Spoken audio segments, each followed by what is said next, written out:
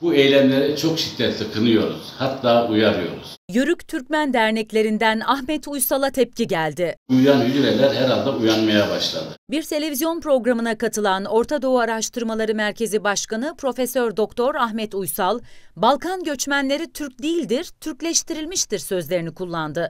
Türkiye Yörük Türkmen Dernekleri Gönül Seferberliği Yürütme Kurulu Başkanı Abdullah Duman konuyla ilgili konuştu. Bu hocanın ve onların ağababalarının Türk milletini kim, kimliksizleştirmeye özgür ağırlıkları yetmez. Teke Yörük Türkmen Dernekleri Federasyonu Başkanı da olan Duman, son günlerde yeniden ortaya çıkan ana dilde eğitim savunucularına da sert çıktı. Duman, tüm bu girişimlerin bir merkezden idare edildiğini söyledi. Yunanistan'da Sayın Cumhurbaşkanımıza hakaret eden hassizlerden bir farkınız olsun. Türkiye'nin egemenlik haklarına topyekun saldırıda bulunan ABD, Avrupa Birliği ülkeleri, Arap ülkeleri, Orta Doğu ülkeleri vesaire ülkelerden bir farkınız olsun. Türkiye'nin iç cephesini güçsüz bırakma çabasından vazgeçin. Çok çabaladılar, çok uğraştılar. Bu topraklarda bölünmeye, parçalanmaya Türk milleti izin vermedi.